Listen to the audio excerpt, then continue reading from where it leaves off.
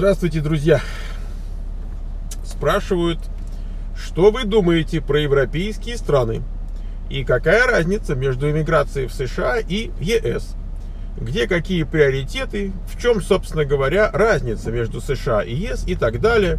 Если будет время, желание и возможность, то, пожалуйста, ответьте в видео на эту тему. Ну, давайте ответим. Значит, э, вы, когда этот вопрос задаете, вы понимаете, что я не живу в ЕС, я, я все-таки живу в Америке.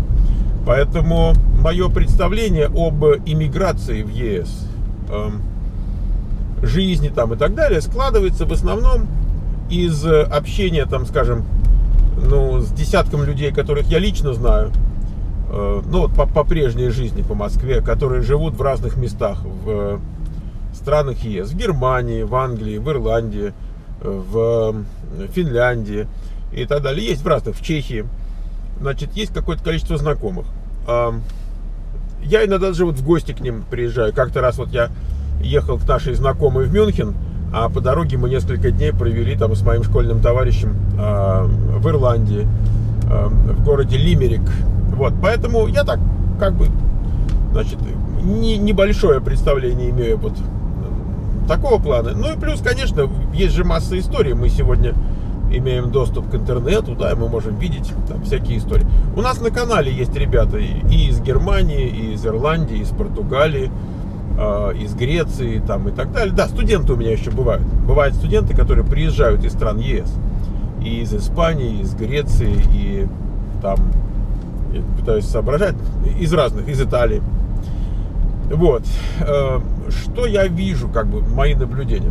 Значит, э, в экономическом смысле ЕС как бы вот эм, буксует, что ли. Причем э, я начал наблюдать за экономикой стран ЕС с того момента, как мы оказались в США, и я начал немножко заниматься там инвестированием в разные там инструменты. И вот тогда, э, значит, я начал читать много, и вот рецессия, рецессия.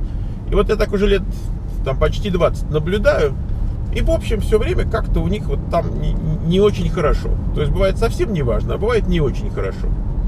Эм, вот такие страны, как Франция, где, например, там колоссальная безработица, особенно среди молодежи. Знаете как? Ну, в общем, что сказать. Эм, США, при всем при том, что бывают какие-то спады иногда, все-таки здесь довольно бурная такая экономика, хорошая. Я помню, приезжал один господин из Англии со своей женой. Точнее, жена у меня училась, а он приехал ее навестить. Он ученый в университете преподавал, там, профессор, граждане Великобритании. И я, а у нас как раз спад был, это было что-нибудь там 2000, я помню, 9 восьмой. В общем, так неважно, что-то такое там происходило. И я говорю, вот там безработица, вот там. То есть он говорит, «Э, вот то, как у вас сейчас, говорит он, это когда у нас самая лучшая экономика, какой можно только себе представить. Вот это тогда вот у нас вот так. Ну, еще раз, с его слов, я не знаю. Так что я думаю, проще вот как бы тому иммигранту, который хочет работать, что-то делать, развиваться, там что-то добиваться, в США попроще. Э, в США еще и попроще в том смысле, что иммигрант не является инородным телом. Он как бы является, может быть, в зависимости от ситуации, не, не совсем таким уже прямо органичным элементом, но, во всяком случае, не, нет такого отторжения. Вот тот же, скажем, а, вот этот физик, который в университете а, преподавал в Англии, он вот жаловался, что англичане не воспринимают их, вот, то есть он пытался с ними там задруживаться, как-то в гости, туда-сюда, они не воспринимают, они говорят, а есть же русские, почему ты интересуешь. То есть они, они искренне не понимали.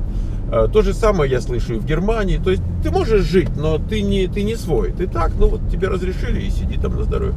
То есть как бы у них, у них есть свое место. И, и это как бы чувствуется. Вот. В Америке такого нет. Вам, вам не покажут на ваше место, вам не скажут, вот ты иммигрант, тебе вот этого не положено. Я помню, в Париже я был потрясен, что Франция в моем представлении была страна как бы с демократическими ценностями, которым следует весь мир, там, да, казалось бы, вот, э, э, они вдохновили, значит, э, американских там отцов-основателей, и вот на тебе, значит, экскурсовод мне говорит, поехали там в какой-то замок, я говорю, устали очень, и он говорит, ты пойми, он говорит, это же замок только рожденный во Франции гражданин Франции имеет право показывать, там есть целый ряд замков, который иностранец не может показывать. Я говорю, подожди, говорю, то есть вот если, скажем, девушка там, я не знаю, вьетнамка, например, она не может, она работает во Франции, она легальная, все, она не может экскурсовод, не может, нет, это специальный лайсенс. Я говорю, боже, вот эти люди, вот эти, вот эта цивилизация дискриминирующая, понимаете? А вы поговорите с теми же арабами, например, во Франции, они вам расскажут, как к ним там относятся. Задолго до всяких напряженностей там и так далее. Это, это как бы у них есть свое место и все. Это, это, не, это не люди первого сорта. Поэтому, э, что там говорить? Значит, здесь намного в этом смысле свободнее. Э, чего есть, например, в Евросоюзе, такое, чего нет, например, в США. Там более жирные э, халявные бенефиты. Вот все эти социальные программы, то, что у нас условно можно было назвать well, слово welfare, там welfare более жирный. Это, это правда. Э, то есть там как бы сверху прижато, да, то есть там сложнее вы, выскочить куда-то, но и снизу э, приподнято. Вот как-то так, да. Значит, Америка в этом смысле более контрастная. В Америке можно гораздо больше заработать, и в Америке на халяву меньше дают. Но э, есть еще такой аспект, как э, сложность, что ли, легализации в той стране или в этой стране. Я хочу сказать, что в какие-то моменты было несложно, вот на нашей памяти, да, было время, когда было несложно, относительно несложно легализоваться, там, скажем, в каких-то странах Европы, я не знаю, Голландии, там, например. Вот. Сейчас вроде бы как-то сложнее стало. Это такой процесс, который э, в одну сторону, в другую. Поэтому, если, например, человек хочет уехать не столько куда, сколько откуда, вот он живет там, где он живет, и оттуда хочет уехать и у него, например, не получается в Америку, хотя он бы хотел. Я вас уверяю, что совсем неплохо жить в Евросоюзе. Ну, ну то есть, э, если уже хочешь уехать, это совсем не такой плохой выбор.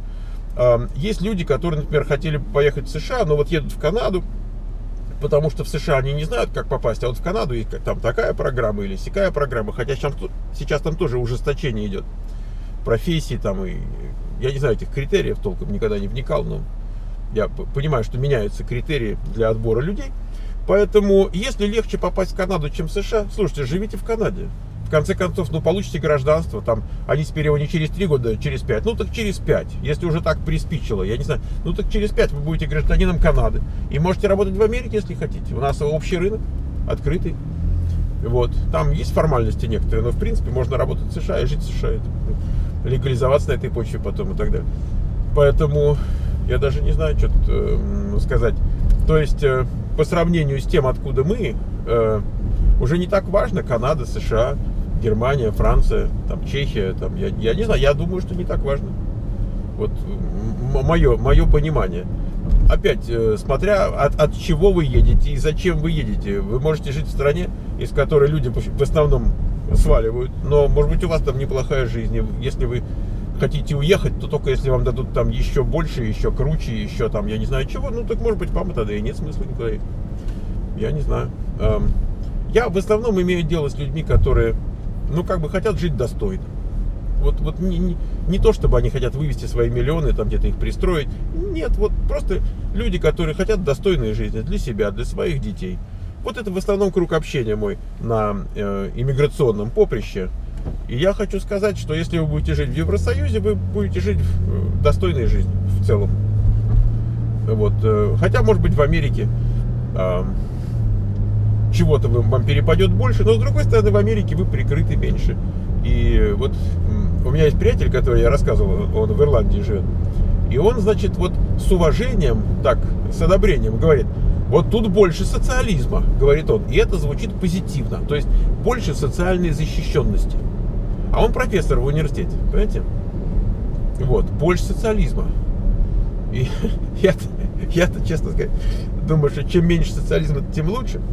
Вот. Ну, э, при всем при этом, я социализм, как, понимаете, прожив в Советском Союзе, да, я, я не воспринимаю социализм в том виде, в каком это понимали классики, так сказать, социализма. Я-то это через призму Советского Союза, то есть через извращение, через э, террор, через все эти безобразия. Я думаю, уже чем меньше вот этого социализма азиатского, знаете, чингисхановского, тем, тем лучше. Но если так на социализм смотреть как на этап в развитии капитализма, когда общество вместо такой уже жестокой эксплуатации там, с 12-часовым рабочим днем, с детским трудом и так далее, э, начинает уже инвестировать деньги э, в рабочую силу, дает бесплатное образование хорошее, там, значит, соответственно, здравоохранение, там, уровень культуры и так далее, и так далее.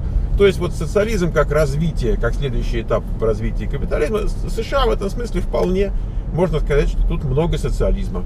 Наверное, меньше, чем в странах Европы. То есть я, я считаю, что меньше, чем в странах Европы и Канады. Но, ну, в общем, достаточно много, конечно, и школы бесплатные. И если ты хочешь учиться, получить высшее образование, практически оно, оно доступно каждому э, в той форме или другой. Ну, может быть, ты должен там потом выплачивать задним числом, но так ты же его берешь для того, чтобы работать и больше зарабатывать и так далее. То есть абсолютно все доступно. А если ты способный, талантливый, там Господи Боже мой, тебе, тебя упакуют и бантик завяжут, и все бесплатно тебе дадут, и возвращать ничего не надо. Поэтому, а даже если ты не, талантливый, а просто вот человек, вот просто середнячок середнячком, тоже можешь пойти получить высшее образование. И, и все такое. Поэтому сейчас такая демократизация богатства. Понимаете, не надо быть из Ротшильдов или там Морганов, чтобы быть миллионером. Сейчас каждый может. Вот инициативу проявил, мозгами пошевелил, все твое. Так что такая вот такая вот жизнь. Так что возвращаясь к вот этим странам, эм, я считаю, что любая из них лучше, чем вот там, там где жил я, например. Вот так, так, так бы я сказал. Я бы и в Израиле на самом деле жил. Я там бывал, мне там нравилось. Но, но я не жил, я так гостил, поэтому это может быть не одно и то же, но, но все равно нравилось. Так что Наверное, все. Счастливо, ребят.